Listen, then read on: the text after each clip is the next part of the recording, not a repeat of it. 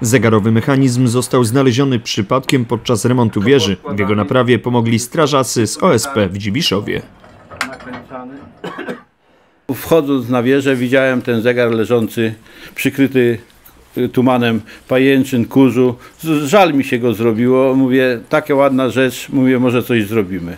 Widziałem tylko taki no, ramę od powiedzmy tego mechanizmu, a nie spodziewałem się, że mm, e, jest tam obok gdzieś na tej wieży tyle różnych rzeczy, które e, składają się na mechanizm tego zegara. Samo urządzenie pochodzi z 1800 roku, tak więc ma prawie 215 lat. Mechanizm został już wprowadzony na listę zabytków. Jest to zegar e, jednowskazówkowy, dwutarczowy, pokazuje tylko godziny.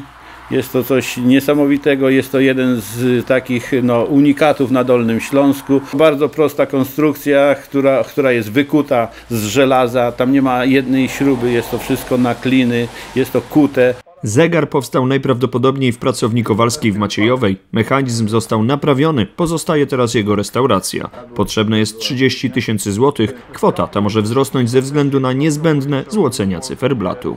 Jestem pełen nadziei, że to się uda do końca tego roku 2015 e, wyremontować e, ten zegar, mechanizm. No i będziemy się cieszyć, że mamy coś takiego na wieży naszego kościoła.